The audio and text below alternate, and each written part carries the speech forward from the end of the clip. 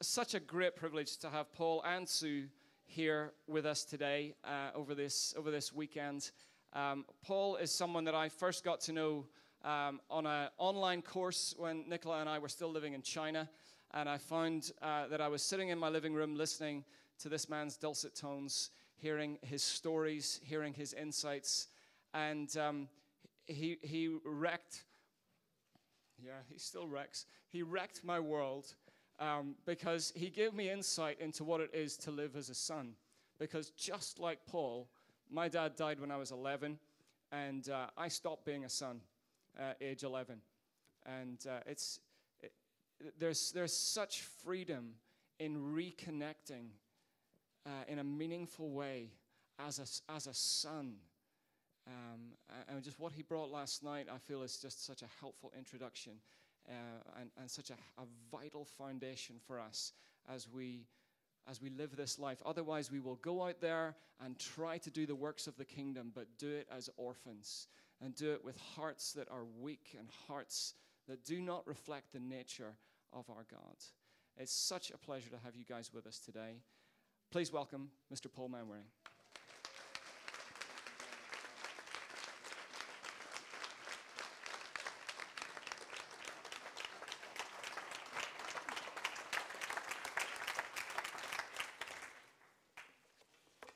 Good morning.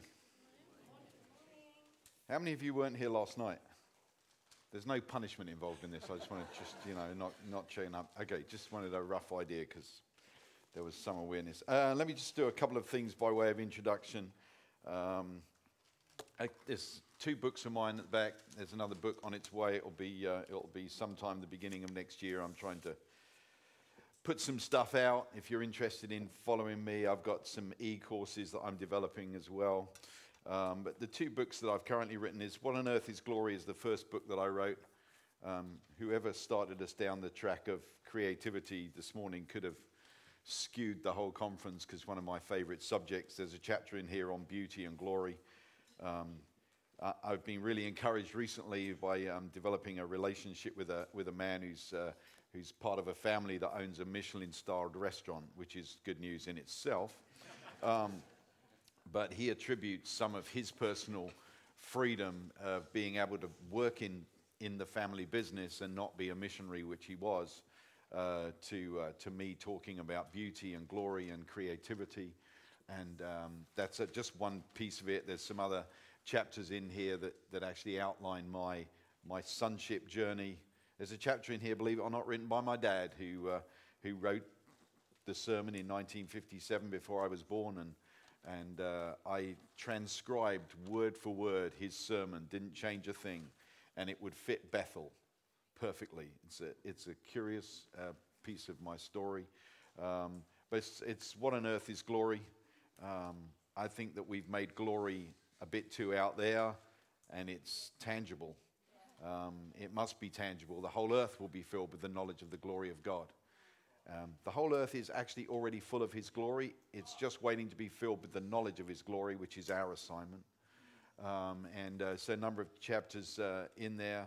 Um, a couple of my, I, am honored that R.T. Kendall would, uh, would have endorsed it, but he said, shows in a readable and practical way how to bring glory to God in your own life here on earth, which is kind of fun. And Artie's become a friend of mine, which is a great privilege of my life. And uh, so I know he really liked it, and Jack Taylor really liked it. So if they like it, I must be onto something. So anyone got a birthday today?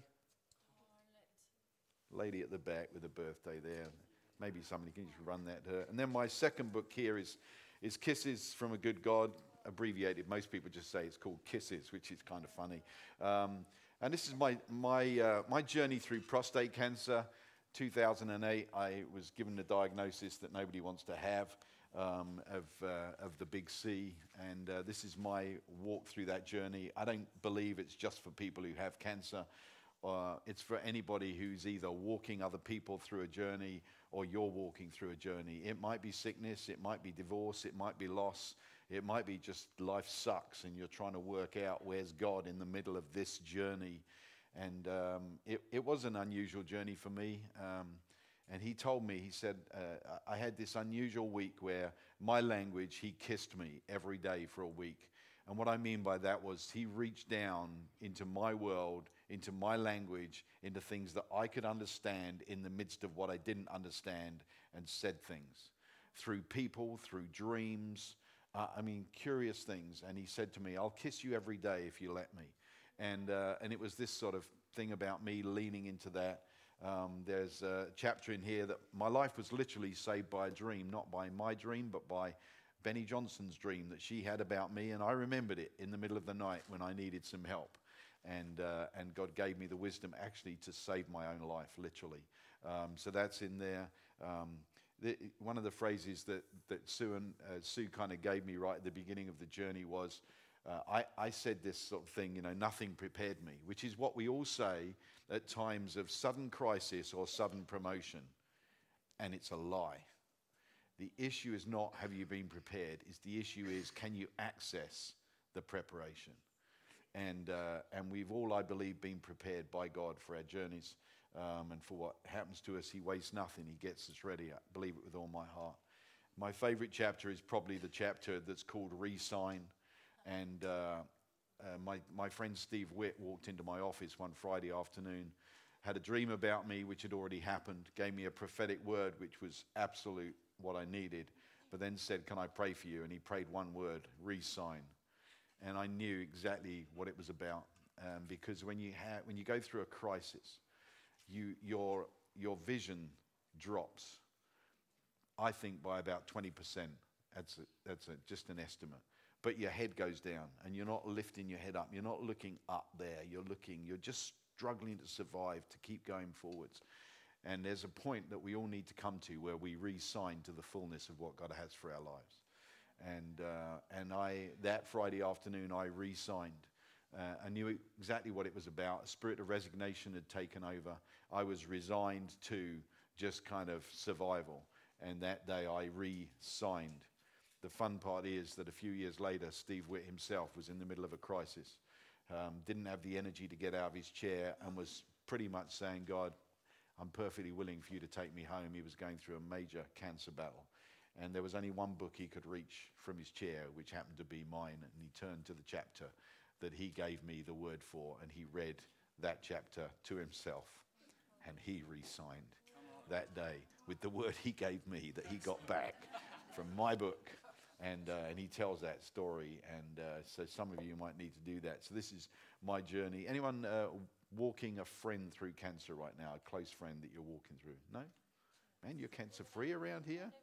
One over there, lady over there, you're walking. Yeah, the lady at the back there. Maybe somebody could just pass that. And both those are available at the back. My wife Sue will be there at the end of this uh, session and the beginning of this evening's session if you want to buy those. I also um, think both Peter and Gary said, "Hey, tell, tell a little bit about what's going on with me, and I'll do that, and then I'll and then I'll turn to preach." Um, so uh, we spent 15 years in Bethel, California. Um, the, the, very quick headlines are in, in, 2012. Although I think Sue, probably Sue around that time, was beginning to think, you know, is it time for us to move back to Europe? Um, but I think I was probably still at that stage. This is it. We're in California. You know, we got our green card. We'll, we'll stay here. It's, the climate's pretty good, you know. Um, although Redding's climate's not that great. I'd have preferred San Diego if I had any choice at all. But um, I got given a prophetic word which changed my life, um, literally changed my life. It was about preaching in stadiums. And from there, I started to get connected um, with, uh, with more of what God was doing in Europe. And, uh, and we give them prophetic words about it's, it's time for you to move back.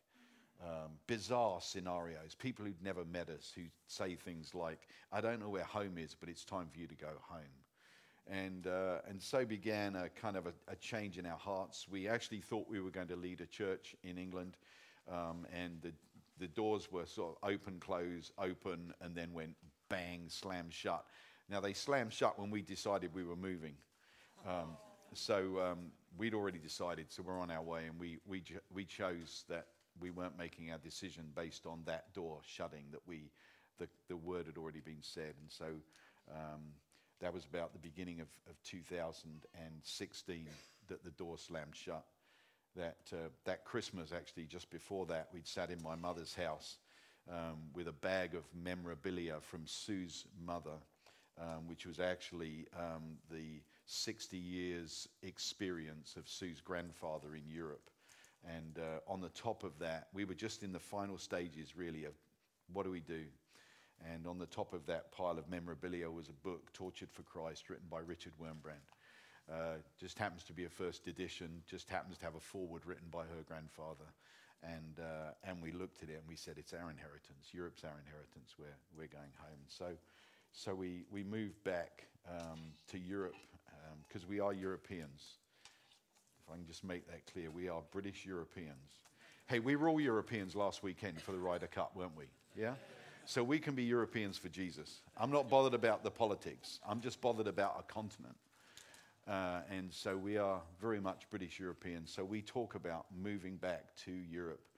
And um, there's a number of things that we're involved in. One of the things that I'm involved in is esbs.org, europeshallbesaved.org. You can look that up, can sign up for it. There's no, uh, there's no, no uh, problems and there's no fees to pay or anything like that. I'm not trying to hook you into something.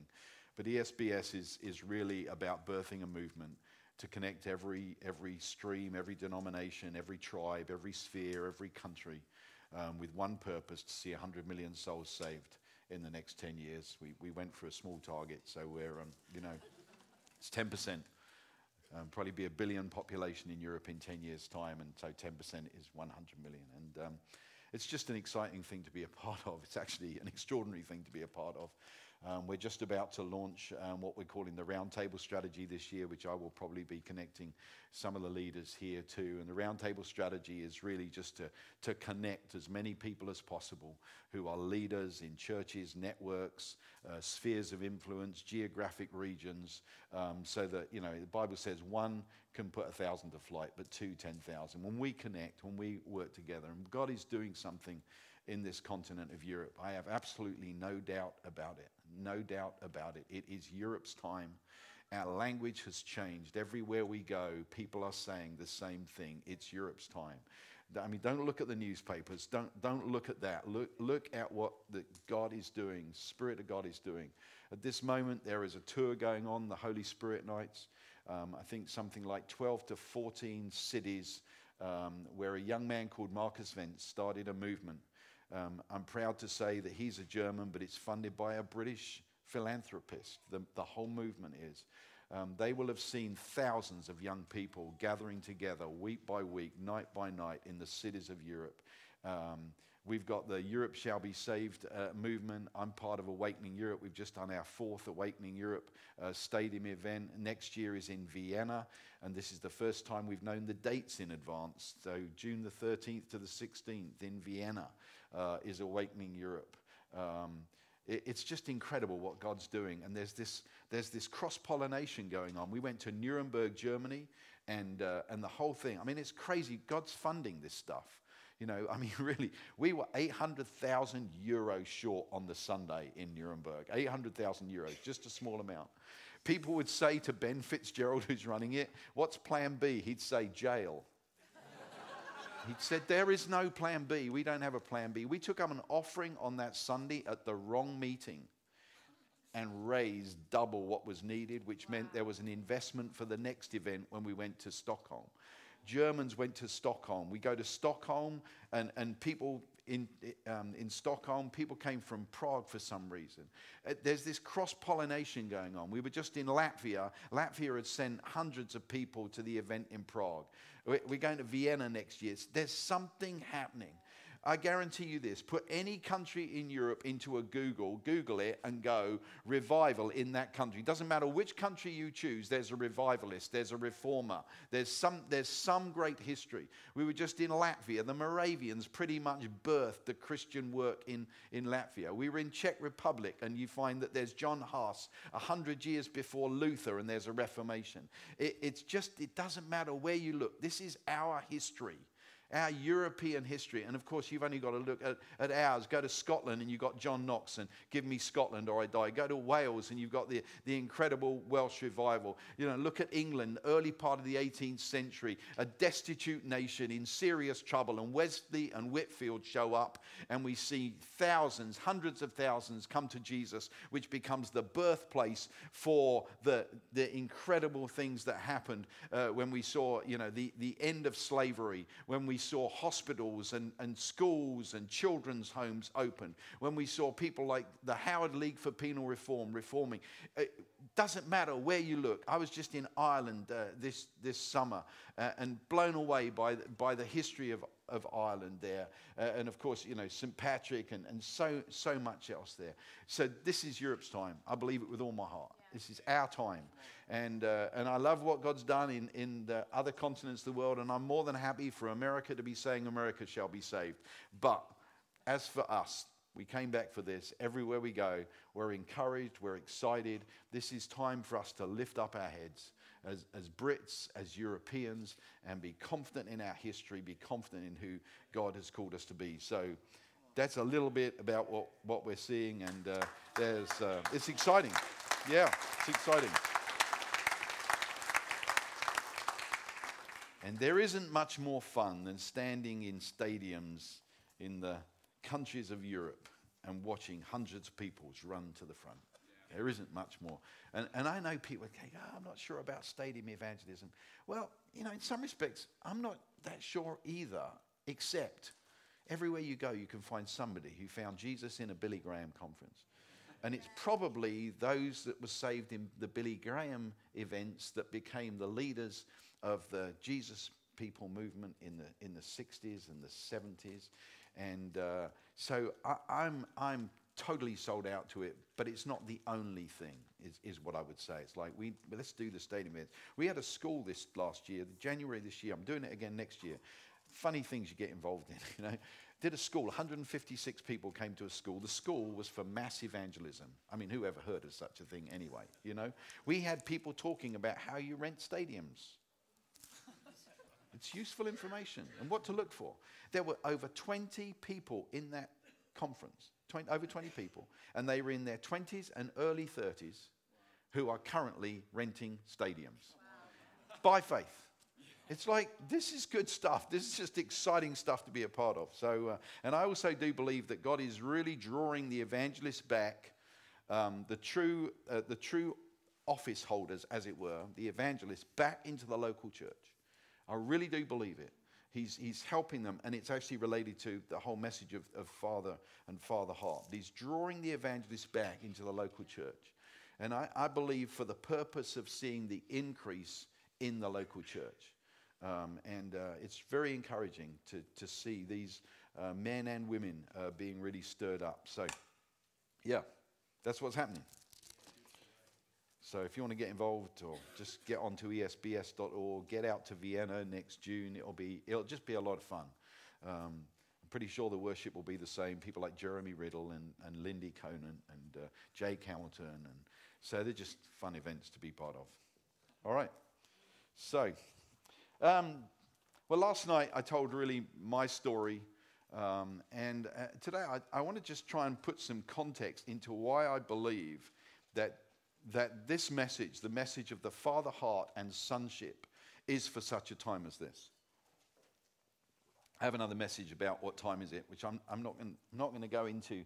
Um, but just by way of background, um, Mordecai uh, sent a message to Esther. Many of you will have had Esther 4:14 given to you as a prophetic word. Who knows? if you have not attained royalty for such a time as this. For me, what that means is who knows if you haven't become a son or a daughter of the King of Kings for such a time as this? Who knows if you have not found your identity for such a time as this? Uh, actually, the night uh, uh, I had my surgery, and it was the night when I saved my life in the middle of, of the night, just before I went unconscious which I always make a joke of. If Chris Vallotton's in the audience, he gave me a prophetic word and I slipped unconscious. Um, you know, um, but uh, he gave me a word. I didn't know what that word meant until the summer of this year. I thought I knew what it meant until the summer of this year, but then I realized what it meant. He said, You're Mordecai.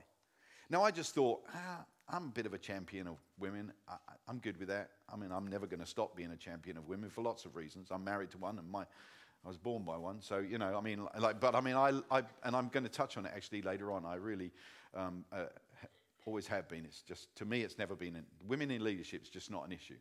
You, if, if you get past Genesis 1:26 and you haven't worked out what God thinks about women, then you, that's why there's so many problems. Just sort it out in the first 26 verses of the Bible. I will go there later in case you wonder. But I, I thought it was just I'm just I'm, I've always been a champion of women in leadership. Never been an issue. You know, I was an I was a, a, male nurse. Don't know why they had to call me a male nurse. Thought the male pit was fairly obvious, but you know, um, you know. So I've I've always worked in, in that environment. So I thought that that was what the word meant. And then I was just walking to a meeting in July, actually, the night we lost the semi finals. So painful night, but at least I got a revelation in the same day. So, um, and, uh, and, and I realized this Mordecai, Mordecai's assignment was to adopt the orphaned influences.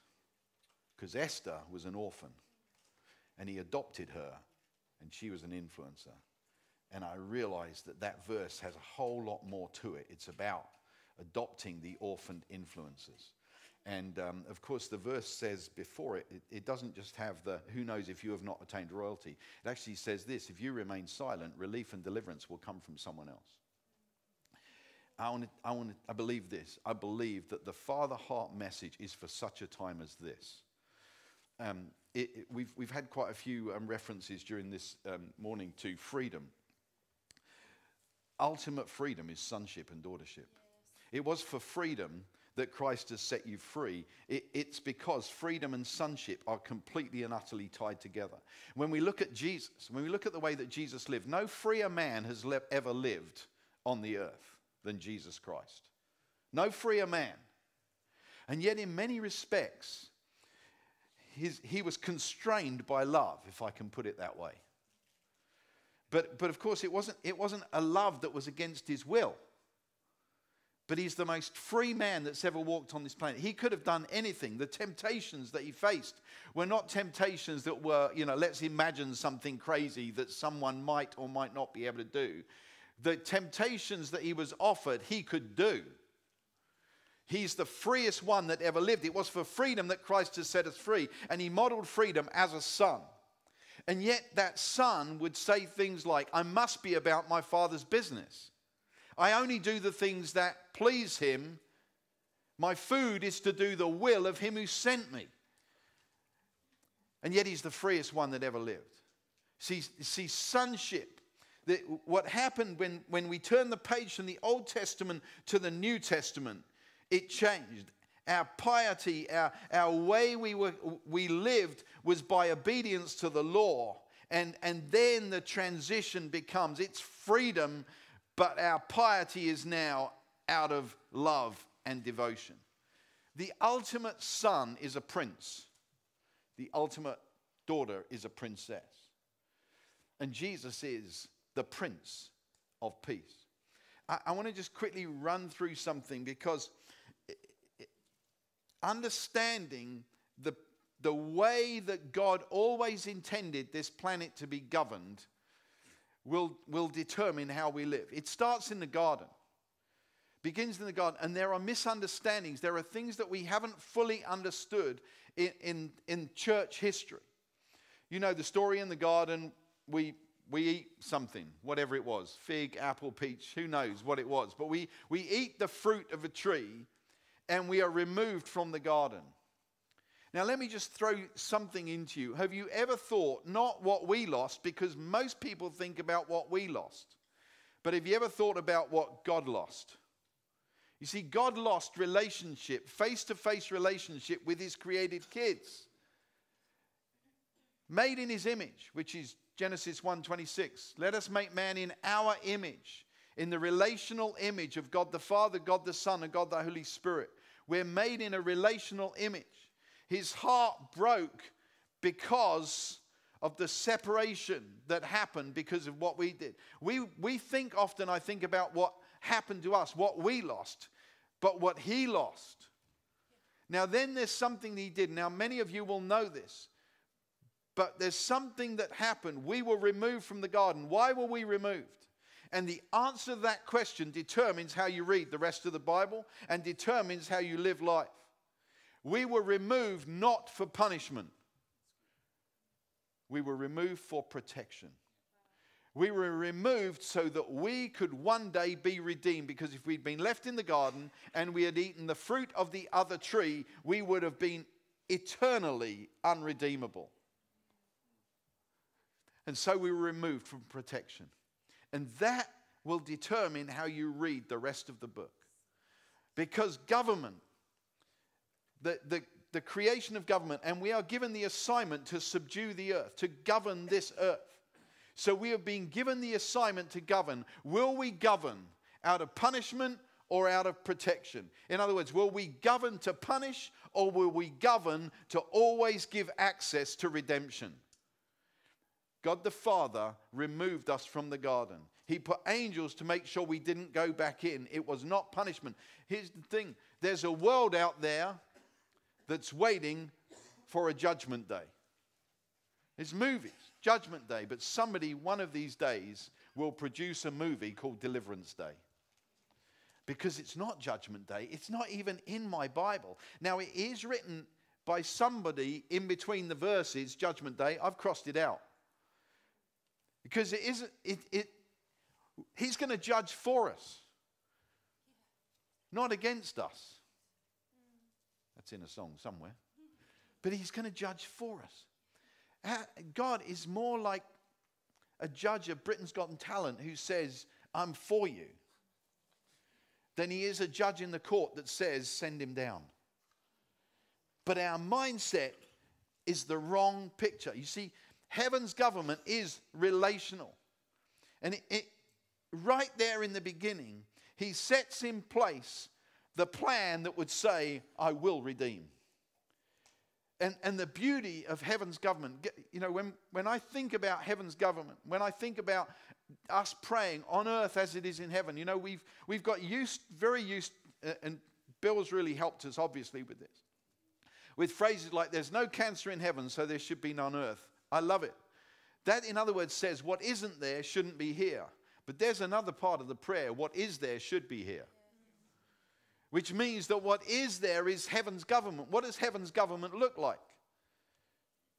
Jesus, Jesus, actually, I believe, prayed for us to receive this in John chapter 17. He said, Father, glorify me with the glory we had before the world was. What's the glory before the world was? What was that?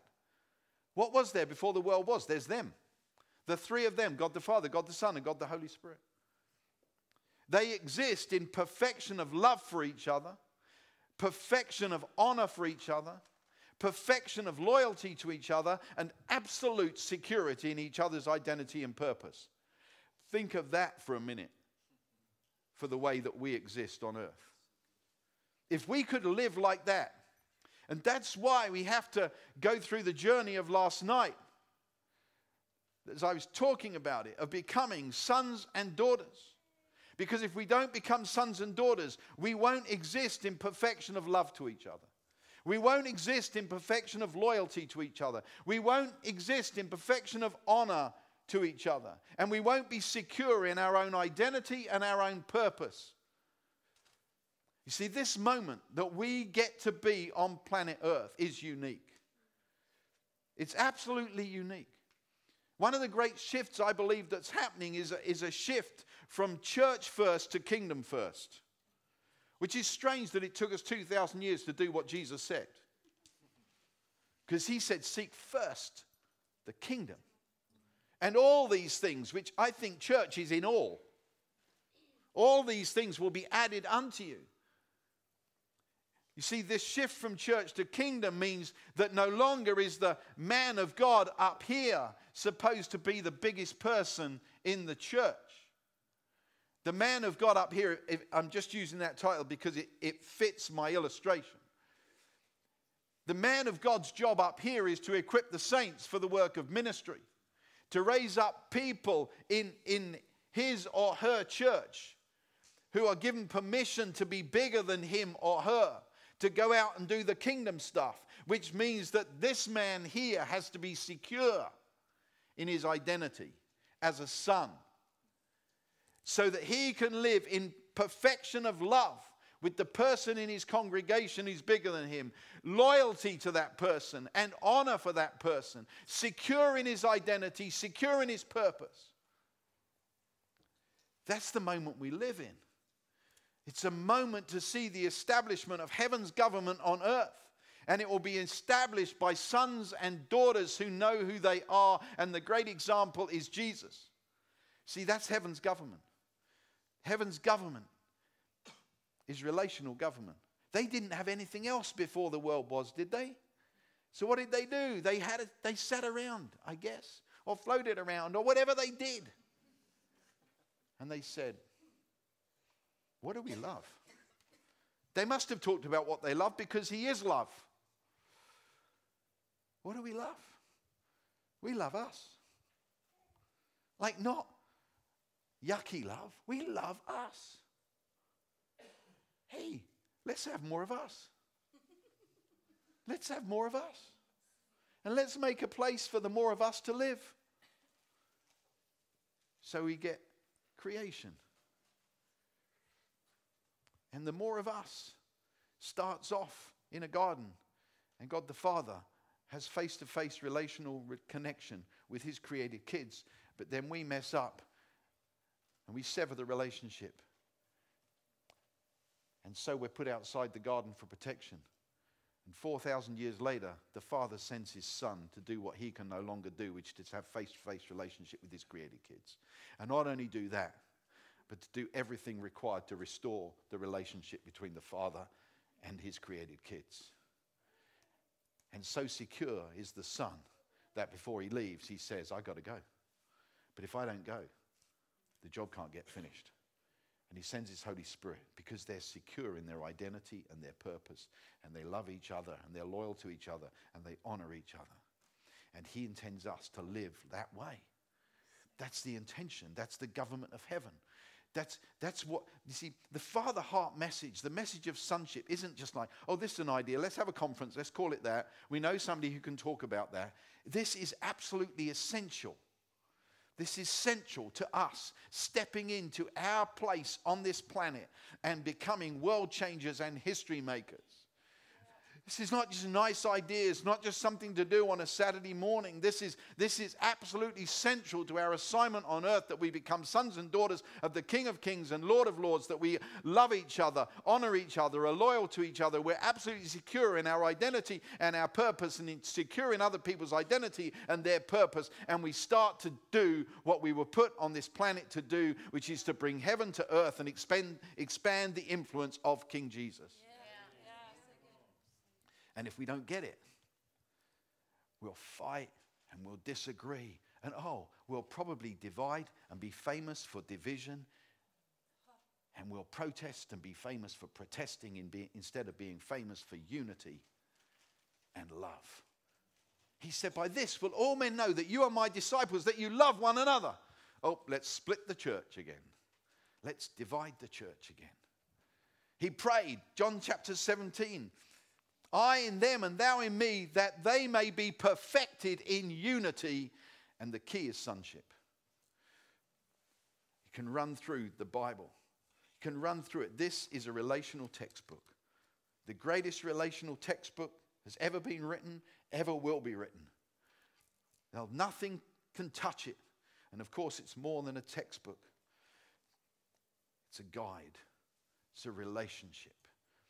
It's an introducer to the Holy Spirit, and the Holy Spirit will introduce us to things in it. It's this, this incredible dance that we get to be a part of. I, I love Isaiah. I'm nearly learned to say Isaiah again. I went to Isaiah because people didn't apparently understand what the book Isaiah was where I was. I love Isaiah chapter 9. I love it. I've read it in probably as many circumstances as anyone in here has because I've read it in prisons and hospitals and all sorts of different places. And of course, many of us know it from the great Messiah. Isn't it incredible, by the way? It always makes me smile. Can you imagine being known that uh, something that you wrote, being known by your name and the Messiah. Handel's Messiah. It just blows me away. It's like, you can't say Messiah without Handel. You can't say Handel without Messiah. There's a message in there somewhere. It probably should be true of all of us that you shouldn't be able to say your name without attaching Jesus to it. But we all know, we all know the great verses.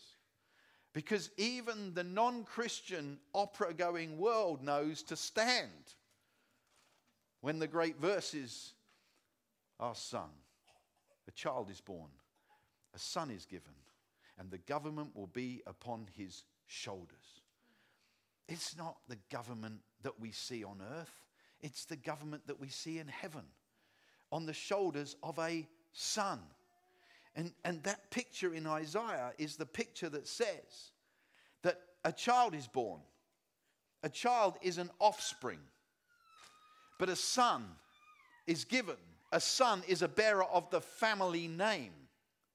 Even Jesus had to go from offspring to bearer of the family name. The picture in Isaiah is probably various accounts of it, but it's probably something to do with the culture of the day. When a, uh, a nobleman would have a, a son, and the nobleman would give that son to be taken care of by a senior servant in the house. The child would be raised to some sort of age of adulthood, depending on the region. And at that point, the servant would take the child back to the nobleman and would represent and say, This is your son. And the nobleman would go out into a public place and would declare, This is my son. If he writes checks on the family business, I'll back them up. And we see the same thing happen with Jesus, recorded at his baptism where Jesus, who's been raised, as it were, by a senior servant, his name was Joseph. He was raised, he's, he's, a, he's a child, he's, a, he's an offspring. But at his baptism, he's taken out into a public place. And, and the whole family gather. It's a family event. God the Father speaks, This is my beloved Son. And the word son is related to the word that's used by Paul in Romans, meaning adoption. This is my adopted one in whom I am well pleased. And the Holy Spirit's on his shoulder. And of course, he is the Son of God. It's a family gathering. And at that point begins his ministry. That even Jesus has to go from a child to being adopted. And so do we. That's what I was talking about last night. About us becoming the adopted sons and daughters of the King. And the government will be upon the shoulders of a son. And that whole crowd in a Messiah event stand. A child is born, a son is given. If I could sing, I would, but it could be the end of. No, my wife wouldn't divorce me over singing, but it would be painful for a few days while she told me I shouldn't do that. a child is born, a son is given. The government will be upon his shoulders, and his name will be called Wonderful Counselor, Mighty God, Eternal Father, Prince of peace. And a prince is the ultimate son, and a princess is the ultimate daughter, because a prince or a princess does two things they serve the king and they serve the people. It's what makes the prince or the princess so incredible. And I love our two princes these days. I love what they're doing. I love how they serve the queen and they serve the people. I love it to bits. I think we have great, great hope in those two young men. I really do. Because they're modeling what a real prince looks like. They serve the king and they serve the people. And as we become the sons and daughters and we walk in freedom, our freedom, our, freedom is, is, I think this is okay to say it this way, but it's like it's constrained by love. Our freedom's led by love, managed by love, guided by love, empowered by love. There's, there's this whole thing, I don't know whether you read much of it. I, I don't read a lot of it, but it kind of makes me smile a little bit. I, and I think the funniest thing is that, the, you know, the Americans typically, to be honest, on some, you know, news feeds and stuff like that, like, poor Meghan.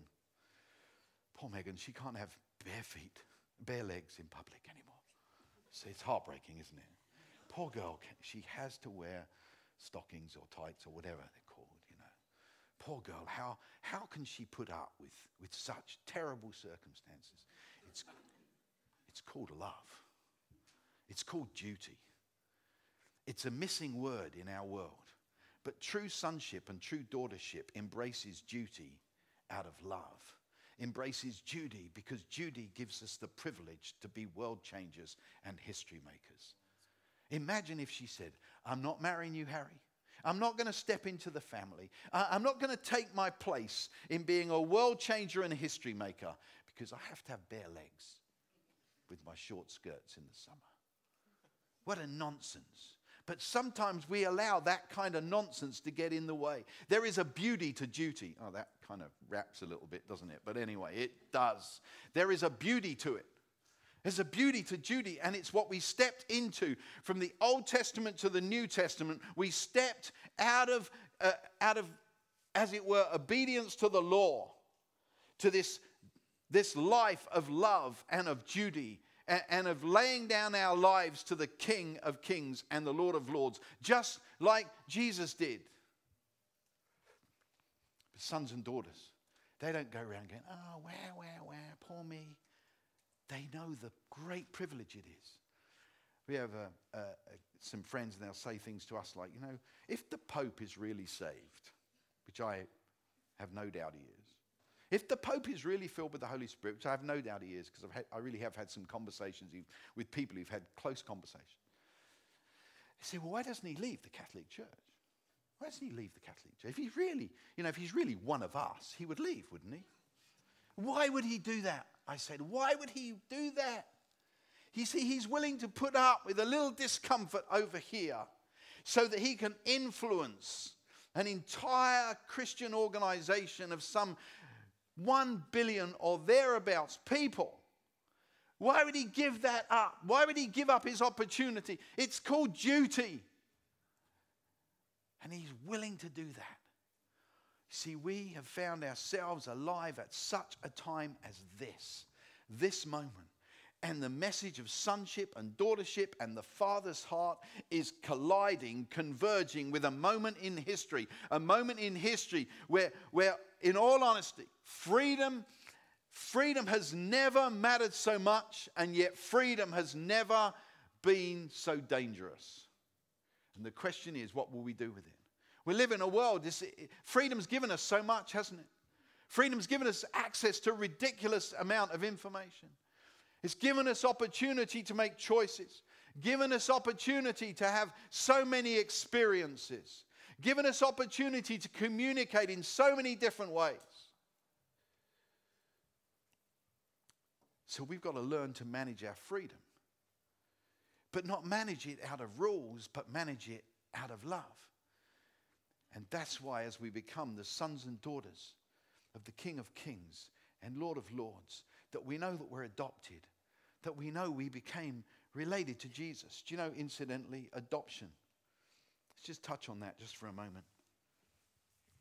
Adoption's fascinating word. The problem is, if I say adoption, typically in the Western world, we think about adopting broken, damaged kids, orphans from Africa with AIDS and stuff like that. It's wonderful. It's great. But it's not the standard of biblical adoption. Biblical adoption is a higher standard. Biblical adoption is this you fall in love. That's what happens fall in love with Jesus. You take the family name, you become called a Christian, and you become joint heirs with Him. That's adoption. That's actually what happened to all the women in here that are married. Which is why we're all going to be daughter in laws for all eternity. Because we've been adopted. We fell in love with the Son. We took the family name. We became joint heirs. Adoption's a higher standard. When we, when we get adopted, the spirit of adoption takes us to that place of being fellow heirs with Jesus Christ. This world needs us to step in to our true identity like never before. The, the ninth fruit of the Spirit is the one that probably scares me the most. It scares me because, like, if that's a fruit of the Spirit, that means the Holy Spirit has self control. Because the Holy Spirit needs self control for. Just an interesting thought to me. But the only reason that you and I need self control is to manage our freedom. And the only reason you need external government is a failure of self control. Only reason we need external government on this earth is because there's been a failure of internal government. And as we, as we grow as sons and daughters of the King of Kings, we're able to govern and manage and control our freedom. And we're able to manage it and control it and govern it for the purpose of bringing heaven to earth and expanding the influence of the King. Because we're a heaven on earth generation. I don't know whether you noticed that. Our language is different. Our behavior is different. Our expectations different. Somebody stands in front of us dying of cancer. We expect heaven to invade their body. And we're a kingdom generation because we're looking around and saying, who can we send into government? Who can we send into medicine? Who can we send into local government, into social work? Who, who can we send? We're, we're not gathering people just have a nice, warm, fuzzy time in church. We want to change the world. We want to change our society. You want to change Bishop Stortford in this region. That's your desire. That's, that's what's in your heart. And that means that we need to become the sons and daughters who, as I said last night, become the fathers and mothers. Because fathers and mothers are roles carried out by sons and daughters. We have to get this identity. And we are alive at such a time as this. There, there are so many places I can land in the Bible. Uh, one of my favorite ones is when Paul says, You're ambassadors. You're ambassadors. We're ambassadors. Do you know, interesting thing about an ambassador? So you, you'll know this bit. An embassy is a sanctuary, which is kind of interesting that churches have sanctuaries, isn't it? An embassy is a sanctuary. What is it? Well, you've all watched the movies. It means that if I'm in a foreign country, I can run into the embassy and I am in foreign soil, yes? But did you know this? That where the ambassador lives becomes foreign soil.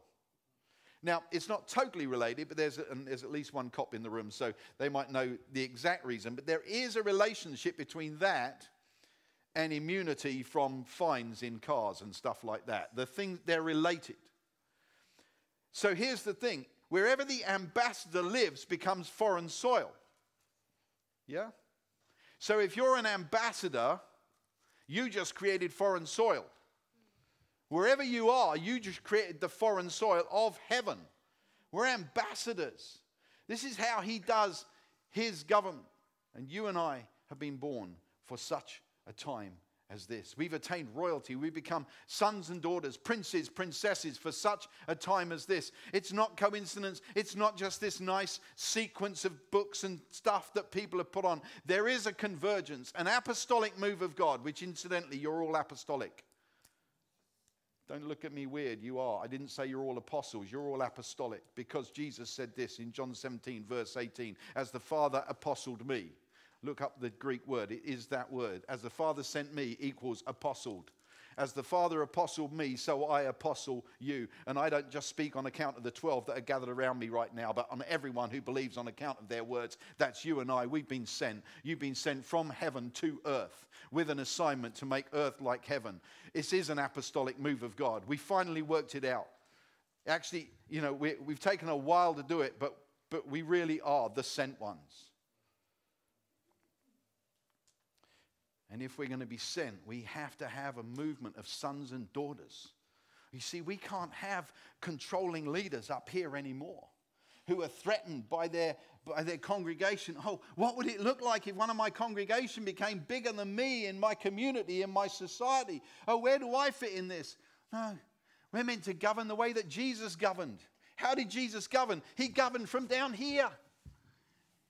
He got down here Philippians said, Who in very nature God did not count equality with God a thing to be grasped, but emptied himself and took the form of a man. He governed from there, and from there he looked up. Everyone, everyone he looked at carried a glory. He looked from here, he took the lowest place. He saw that every man, woman, child ever has lived, ever will lived, had a glory, had something inside of them that was worth him dying for. And he didn't die because you're worth less. He died because you're worth it, actually worth him. That's where he governed from. He governed from there, he led from there. I have a story that's been exaggerated, but the, by other people retelling my story. But the story is this on a Saturday morning in Feltham Young Offenders Institution, I was a deputy governor. They were carrying a young kid down to the segregation unit. He'd been kicking up, and, and they restrained him. My staff restrained him. They were doing everything well and by the book. They weren't doing a thing wrong, but there was a kid in his underpants screaming. And I happened to get to the segregation unit earlier, earlier than them that day. I got there quicker.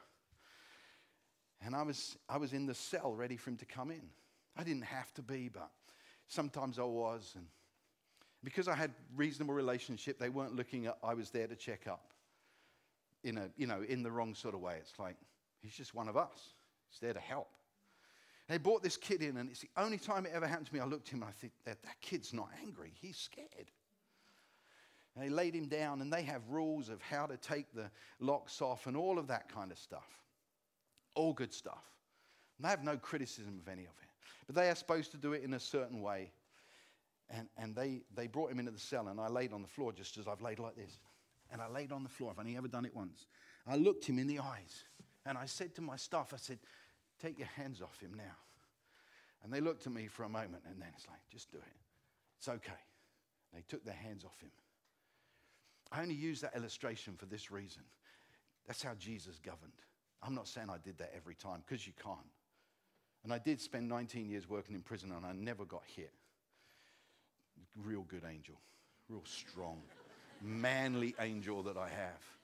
But my, my point is this I governed from there that day. I, I took that place. I saw eyeball to eyeball a scared kid, not an angry kid. See, that's where Jesus governed from there, secure in his identity, secure in who he is and what he came to do. And he governed from there and he looked up. And, and you know, Philippians that details that so beautifully and so stunningly. It goes, it goes on to say in Philippians 2.13, says this, let me just quote it exactly so I don't butcher it, which I've been known to do.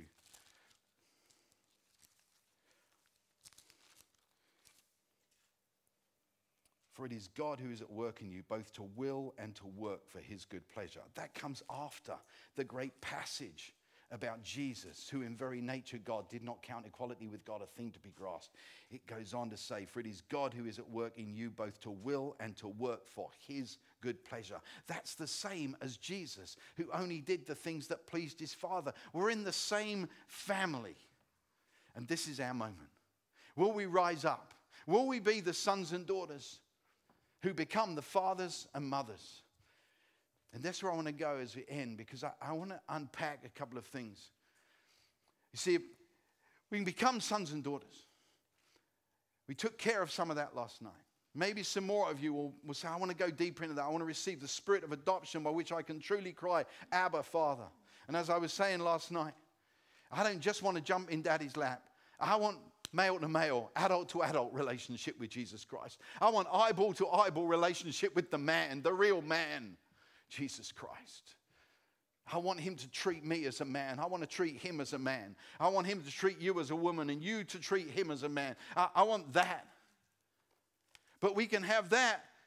But there's another step that we're meant to take because that step is that we're to become the fathers and mothers that this world needs. Because this world needs some Mordecai's who adopt the orphaned influences who are secure in their identity. I mean, Mordecai, he's older, he's more experienced, he's probably wiser. His, his young niece is in the palace. I mean, not sure what's going on. She's beautifying herself. She goes through her six months, you know, purification, her six months beautification. She's there. She's amongst the, you know, the young virgins of the country, and there's Mordecai outside, but he's secure in who he is. And he's sending messages in to his young niece. He's secure. He's confident in who he is. The world needs Mordecai's. And Mordecai's, if there is such a name. But something sometimes gets in our way. I want to touch on it. You see, we, we need to become fathers and mothers who don't just know, embrace sonship, but are able to be the mothers and fathers that this world needs. I can tell you this. I don't, I've been called, I've had a few titles. I've been a nurse, I've been staff nurse, I've been a prison officer, I've been prison governor. I've been given a few titles, I've been called a few names. But I'll tell you one one name, one title that is my absolute favorite title of them all, and that is Father. That's my favorite title on this planet to be a dad, to be father. It's been a journey. And the enemy doesn't want you to step into that role. He doesn't stop, want you to step into it. Ladies, he doesn't want you to step into your ability or your capacity to reveal the Father. He's, he chucks a whole bunch of stuff in the way of feminism that gets thrown in the way, of people who think that somehow we should call God mother. And we, we have all this confusion. Yeah, I'm here to tell you today, ladies, we need you to reveal the Father as ladies, as women. Because the devil's throwing lies in the way. He wants to tell you, you can't do that, you're a woman. How can a woman reveal the Father? I know some women who've raised kids. I know a woman who's raised 11 kids on her own. She did one of the best jobs of raising kids I've ever seen. And those kids are secure in their identity as sons and daughters, more secure perhaps than many I've ever met. She had an ability to reveal the Father. And of course Genesis 1:26 says, "Let us make man in our image, male and female he created them. That's why i say if you've got a problem with women in leadership after genesis 1.26 go back to genesis 1.26 i get it. I know we need people to write books and stuff like that. I get it but you're made in the image of God. He's a good leader. So I don't know where we got that other thing from. Except, well, they do, obviously. See, there are lies. There are lies that step in that will tell you that you can't be a father. There are lies that step in that say you can't father people because you're a woman. Well, you're going you're going to reveal the father as a woman. Now, we don't have language for it. That's the problem. We, we don't have language for it. But God said, Let us, God the Father, God the Son, God the Holy Spirit, let us make man in our image, male and female. All I know is this that there are male attributes of God and there are female attributes of God. And the females carry more of the female ones, and the male carry more of the male ones, but some of the men carry some of the female, and some of the females carry some of the men. And we don't really have a full language for it, but one thing I know is we got to stop anything that prevents women from knowing that they revealed the Father. We have got to stop it. Whatever it looks like, we have to stop it. And we'll struggle with language, but we have to stop it. I believe this. I believe that women need to lead as women.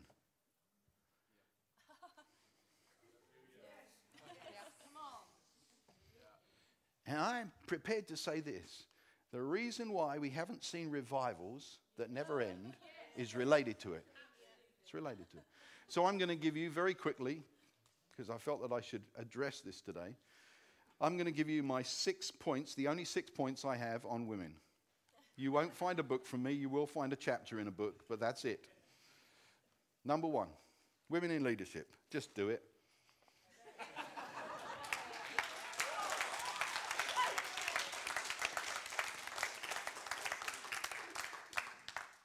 Number two, don't argue the theology. It's very clear to me, Genesis 1:26. Most of the other theology is based on circumstance and context and culture and stuff like that. You can read it. I'm not saying don't read Chris Vallotton's book. It's genius. I'm not saying don't read Danny's stuff. I'm not saying don't read other people's stuff. It's just don't get caught up on it. Because it will distract, distract you from the assignment, which is do it. And number three, don't give a woman a job they're not qualified for.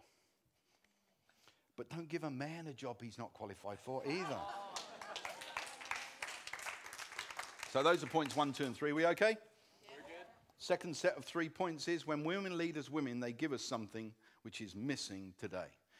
When women lead as women, they have a greater concern for the effect on the whole community.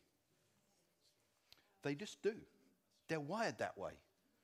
I think that some of it, obviously, is related to the fact that men and women have spent many years and many generations in a community called a family with a lot of different people in that family, and they understand the effect of decision A on the whole family. They think that way. Guys don't. We're like, we tend to be more selfish. We just think, well, it'll work for one, it, that's okay. The rest will have to suck it up or whatever. See, women do. They have an instinctive awareness. If you do that, my wife says, oh, if you do that, do you know how they'll feel? Oh, yeah, got it. That's a good point. All right, okay. So, number one, women have a greater concern for the effect on the whole community. See, some of the problems with some of the revivals that we've seen has been that they haven't acknowledged the effect on the whole community. They take one, just one piece, and they, they don't recognize the effect on everybody. Number two, women have a greater concern for the effect of the generations to come. Now, that is probably related to this they give birth to them. And there is something different in the investment of a woman in the next generation. It's just, it's just different. You know, it's the classic example, of course, isn't it? You know, the, the, you know, the mum who sees her kids in any way hurting or being threatened will become like, you know, a wild bear and, you know, whatever. You know, don't touch my kids, don't harm my kids. But there is this deep seated concern for the generation to come. Well, what have we failed to do? We failed to pass revival to the next generation. See, we failed to recognize the effect on the whole community. We failed to pass it to the next generation. And thirdly, women care about sustainability more than men. Men seem, seem to think, now I'm not saying all do, but men tend to think in, in a more, well, it'll work for a week or two. Now, my wife's like this with me. The best example is my blog, which I'm beginning to get sorted out. But it's like, Paul, if you're going to start writing a blog, are you going to sustain it? Immediately, she's in there. Can you keep it going? Whatever you start today, that good idea you've had, can you sustain it? What do we need? What does revival need? Sustainability. Now, I know that this can be delicate in some communities. I know there's been politics. I know there's been history. But all I'm saying is we've got to work out how to do this. We've got to work it out. It's not always easy. I get around some people and, and they talk about co leading. It's like, yeah, I'm not sure whether that necessarily works. I'm not sure whether co leading between with a man and a woman co leading works any better than a man and a man co leading. If, if, if, you know, so we've got to work this thing out. But all I know is that there is a missing piece. And if we don't get that missing piece back in the puzzle, we are not going to see what we are believing for and dreaming for. Is that okay? So we have to end the lie that says, I'm a woman, so I can't reveal the Father. That lie has to end. There's one lie that has to go.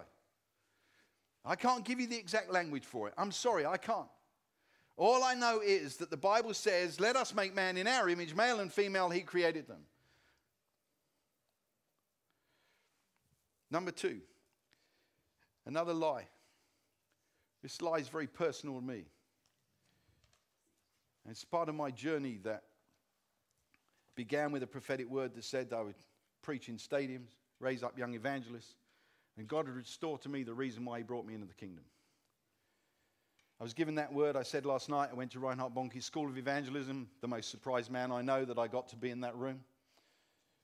I had three serious experiences with the Lord during that week. Came back from that, preached in Nuremberg, couldn't believe I got to do that. Then I found myself at uh, a meal table. I was at a meal table, and a man, his wife came to the meal table. Now I was sitting in a, they call them yards in America. It's actually a beautiful garden, but sitting in a backyard.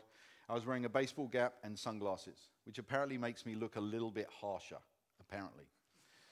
I think it makes me look 10 years younger because I'm not bald with a baseball cap. But anyway. and uh, men, women came and sat at the table. I started asking questions, and I said to him, I said, uh, so what, what makes your healing ministry different from someone else's healing ministry? I was just doing what I do. I always do that. I just ask questions.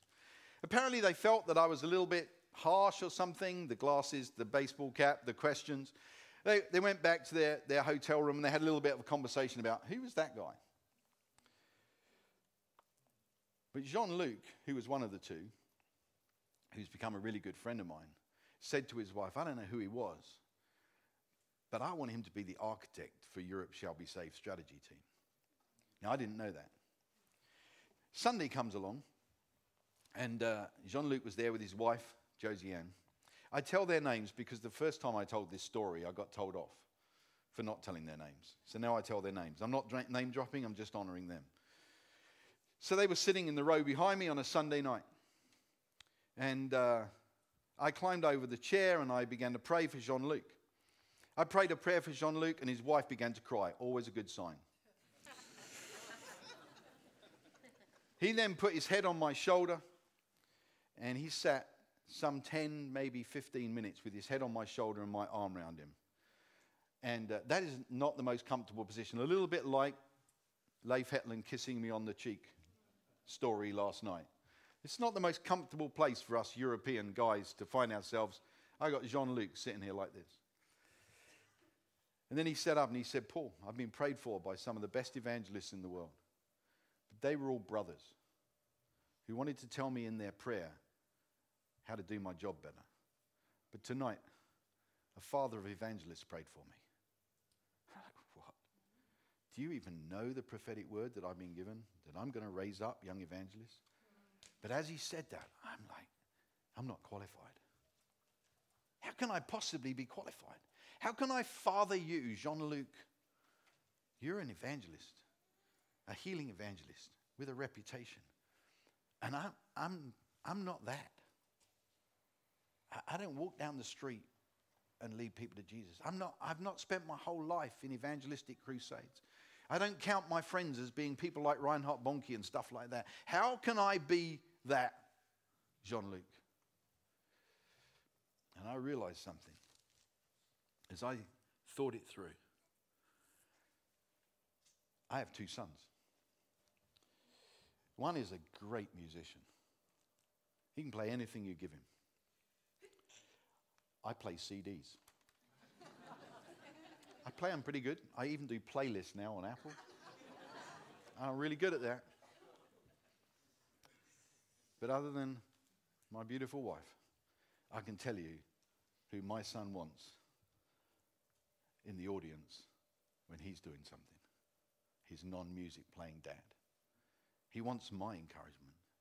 He wants me to say, Well done, I'm proud of you, son. I, can't, I don't do music.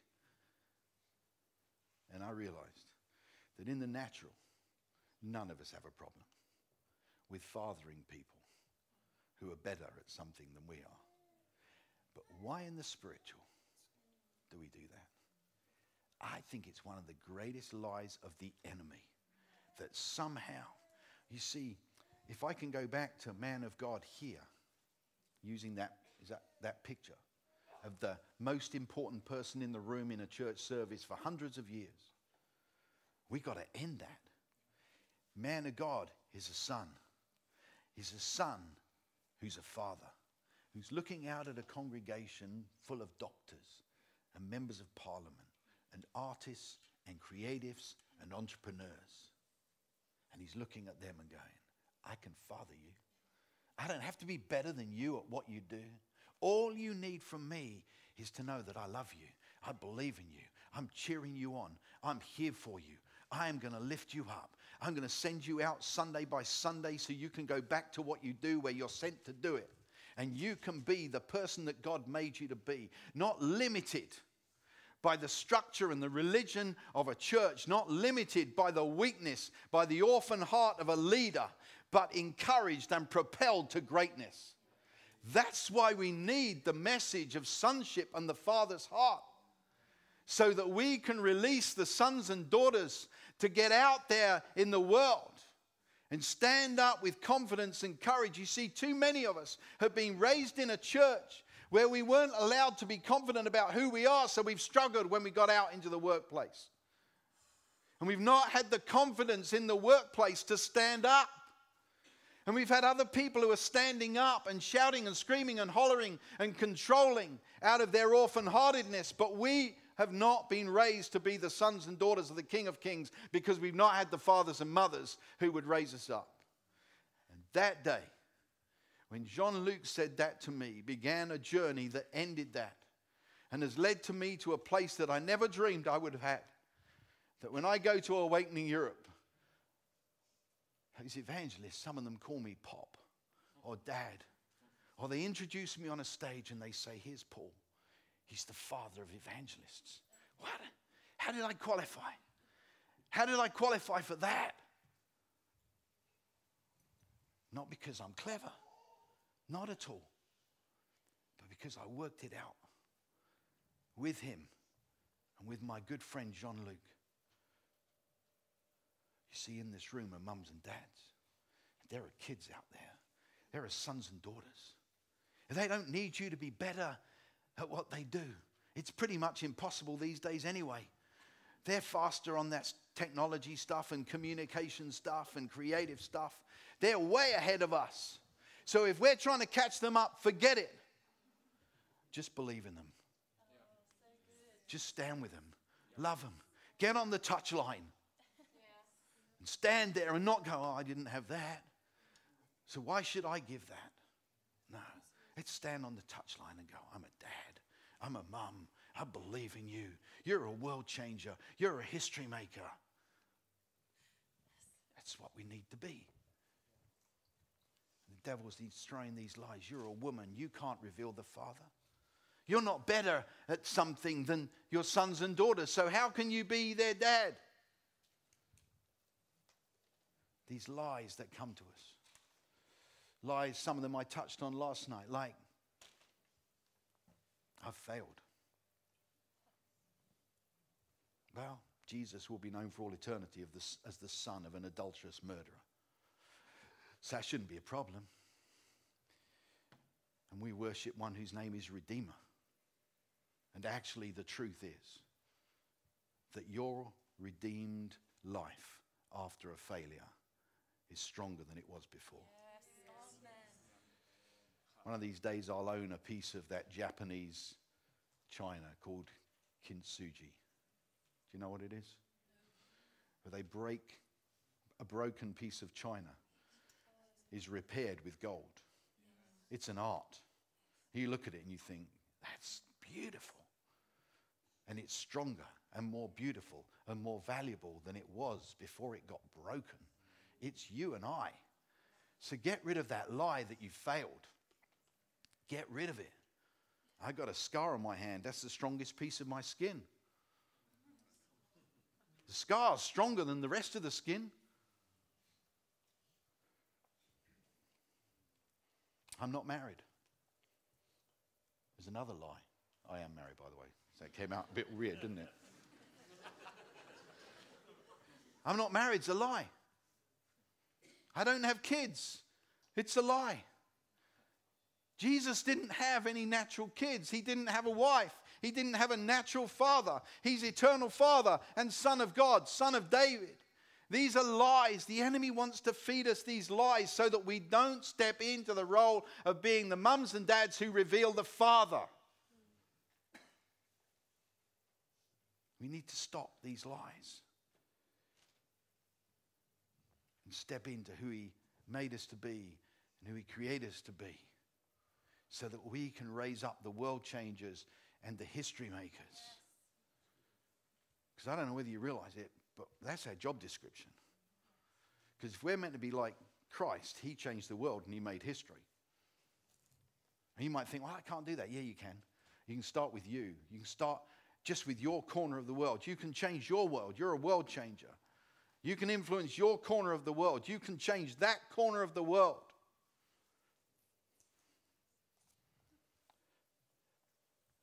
So the enemy throws us these lies because he doesn't want us to graduate from sonship and daughtership and become the fathers and mothers who reveal the Father.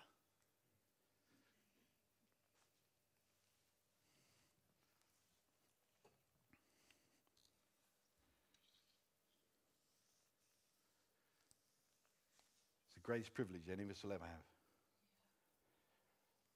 to walk alongside sons and daughters, to cheer them on,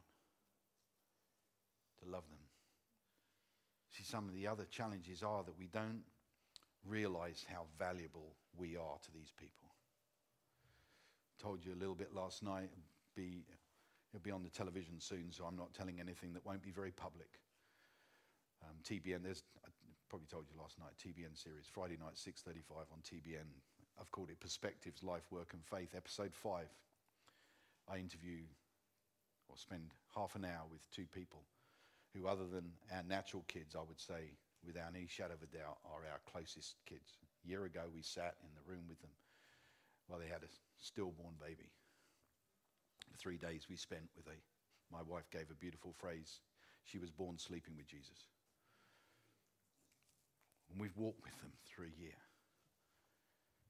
The value they have for one word, a text reply, just to know that we were awake, just to know that we were thinking of them, just to know that, and it's usually my wife, but you know, there's the note, there's the card, there's the encouragement, there's something that we, we were there with them for the, the 365 days that they've just passed to the baby's first birthday, to, to spend that birthday with them, to acknowledge that, but to realize how valuable that is to them. There are so many people out there who just haven't had the experience of a good dad on earth. So, how on earth can they relate to a good dad in heaven? They can't. But you're the answer to reveal the Father. They don't need you to preach to them. They don't need your theology. They don't need your eschatology. They need your heart. They need your love. That's what they need. We're going to minister in a moment. I'll close with this. I was running my prison, Huntercombe Young Offenders. I was in charge of it. Had a rap academy in my prison. It's kind of funny, but I did. They called me MC the Gov. I'd walk in that room, 45 black kids nearly always, maybe one white one, rapping. Had the opportunity to take one of them up to Her Majesty's Chief Inspector of Prisons. And uh, they were doing a whole research project on, uh, on juvenile prisons. Went into London with this young man called Rusty. Went on the train and the tube together, had lunch together. I know that might seem weird to some people, but you can't train a man for freedom in captivity. You have to see what they're like when you let them out. In all honesty, we did have we had a lot of fun. We laughed a lot. He introduced me to a few of his friends, which is a bit scary in some places. he certainly took me into a coffee shop I probably wouldn't go into on my own. But we were in front of the chief inspector of prisons, and he was with me, this young man, and they asked lots of questions, and there was loads of things discussed, and there was conversation that didn't involve Rusty and I. We got to end, and I really respected, and it was, a, it, was such a beautiful thing that the, the chief inspector did. He got to the end, he said, okay, he looked, he said, okay, Rusty, you're going to have the last word in this room. I'll give you the last word. If you could leave one word, one lasting impression on us, would you do it? Rusty, to my knowledge, isn't a Christian. Does a bit of rap for me, sings some rap stuff. And he looked him and he said, We're just a bunch of hurting people who need somebody to show that they love us. That's what he said. I didn't, I didn't give him the script. But the world's full of people just like that. And they need us to be secure as sons and daughters so that we can be the mums and dads, so that we can reveal the Father, so that we can show that this book isn't a book about judgment. This book's not a book about punishment. He's coming back to judge for us. It's deliverance day. He's a good dad. But so many people haven't experienced that. That's why the devil's scared. He's scared that we find out who we really are. And we become who we were called to be. And we do what he wants us to do. And that we become a generation who say things like this I must be about my father's business. I only want to do the things that please my father. My food is to do the will of him who sent me. We have to end the lies so that we can reveal the Father. And ladies, I'm sorry I don't have the right language. I'm sorry I can't put it together in some way that says that's exactly it. But my language is simply this we need you. We need you to reveal the Father. And anybody that has said you can't, or you shouldn't, or has tried to stop you, or has hurt you, or has harmed you, or has put you in one box or another box, I'm sorry that we've done that. But all I want to know is that you're willing to say yes, that you would reveal the Father as a woman. Yep. Reveal the Father as a woman. And I want to start by inviting you. If you are willing to say yes to reveal the Father as a woman, I want to invite you to stand. And if somebody someday finds the language, send it to me. Write to me. And my very good friend, Lindy Conant, Circuit Riders, she wrote a song. It's a song I absolutely adore, but my wife loves it too. And I, I went out to, to, uh, to LA and I got the chance to interview Lindy. And I said, Lindy, I want to ask you a question. Why did you write this song? Where did you get the idea for this song? She said, I got it from Mary. Mary, the mother of Jesus. The words of the song are this there's a yes in our hearts. And it carries through eternity. Simple obedience changes history. When she told me she got it from Mary, I couldn't wait to tell Sue, my wife Sue,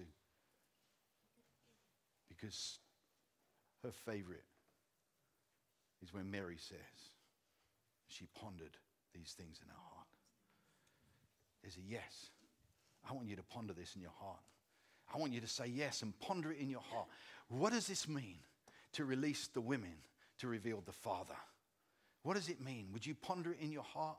Would you play around with it? Would you chew it around and would you say, There's a yes in my heart? I don't really know what it exactly means. There's a yes in my heart. And it carries through eternity. Simple obedience changes history.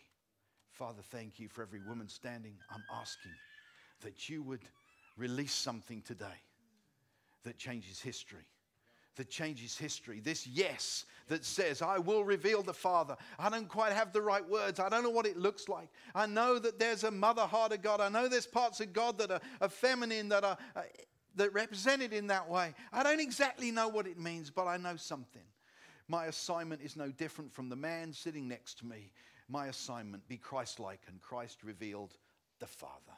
Father, I pray that you would release something today that would shake history. Because it's time. We need, we need women evangelists who reveal the Father, women prophets who reveal the Father, women apostles who reveal the Father, women pastors who reveal the Father, women teachers who reveal the Father. But we need women, members of parliament, and business women, and teachers. And so many of those places have them already, but I believe they're going to be sent out afresh with a confidence to do what they're called to do. In Jesus' name, you may be seated.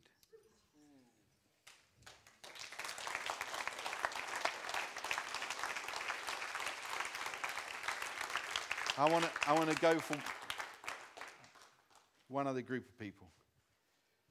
It's male and female, but if you want to join me in the breakthrough that I had, that I can father people even if I'm not better than them at what they do. If that's been a problem to you, if you've looked around and thought, ah, I can't do that, you see, what you're doing is you're missing the value that they place on you, not on your ability, but on what you bring.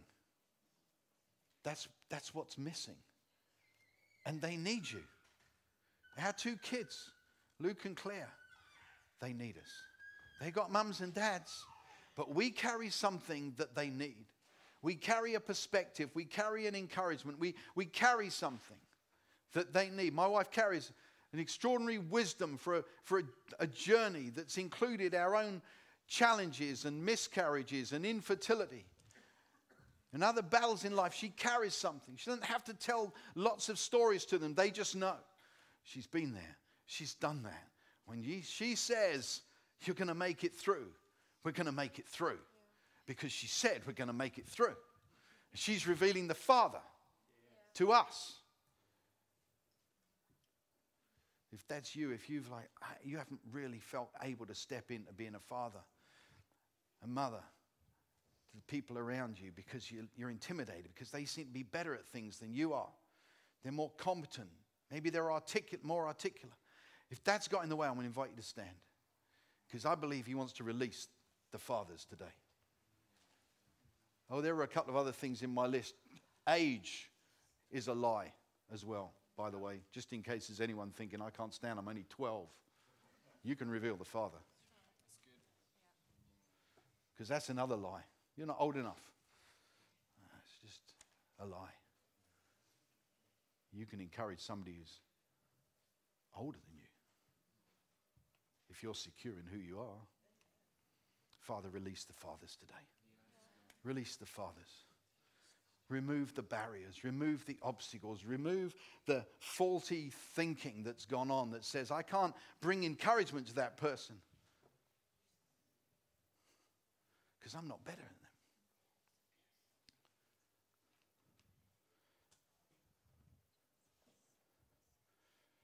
You know, there are sports stars out there who need encouragement of a father. You'll never be better than them at their sport, but they need you. Actors, actresses, movie stars, successful people, entrepreneurs. They're struggling. They're broken. Some of them end up dying in New York apartments from overdoses. And the missing thing is mums and dads who know how to love, encourage, believe, care, champion, lift up, cheer on. So, Father, I'm asking that you would release today the fathers from here, from this, from this room. I dare to believe that there are champions being released right now. Not because of their ability, not because of their talent, not because of their skill, but because of their heart. Because they're secure in who they are, they're secure in why they're alive. Father, would you release an army of fathers and mothers who know who they are, who know why they're alive, who know what they do, who know where they're going, who revealed the Father. Cancel the lies. Cancel them right now.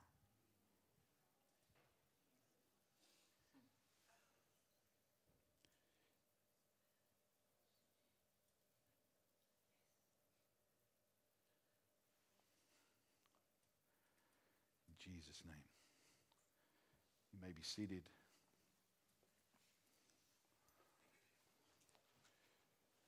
I'm going to go very general, but I have a feeling that some of you, while I was speaking, who are thinking, I think I've been reading the Bible the wrong way. I think I've been reading a book that punished and didn't protect. I think I've been reading a judgment book and not a deliverance book. I think I've been reading a book that had more rules than relationship. I think I, I need to change the way I read the Bible. I need to change my perception of God. He's a good father.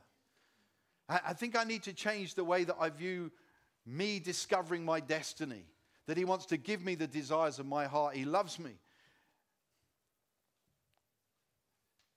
That as I was talking, you were thinking through some of those things. You thinking, there's a, just a shift. I need, to, I need to capitalize on this shift in my thinking. I want to invite you to stand if that's you. Could be any of those. You're just thinking, there's some shifts I need to take. I need to do some adjustment. I'm not saying you're not saved. I'm just saying you thought you were heading for the moon. You starting the journey half a degree off, and you're missing the moon by miles. It's just a little course correction. Just a little tweak, just a little adjustment.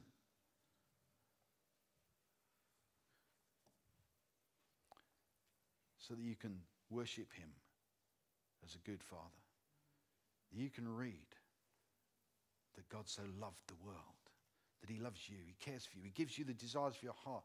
He, he wants to bless you, He wants you to succeed, He wants you to prosper, He wants you to have abundant life. That you're not heading for judgment day, but for deliverance day, that He's judging for you. He's with you. Father, I'm asking, change the way we think about you, about your word, about the Holy Spirit, about the songs that we sing, about the way that you see us, and that out of us, out of that, that we will experience more of the freedom. Because it was for freedom that Christ has set us free. And the ultimate free people are sons and daughters.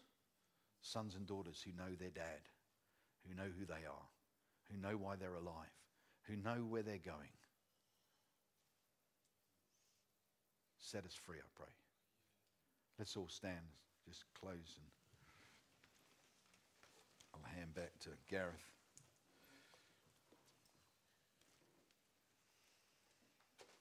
There's never been a better time to be alive. Never been a better time to be alive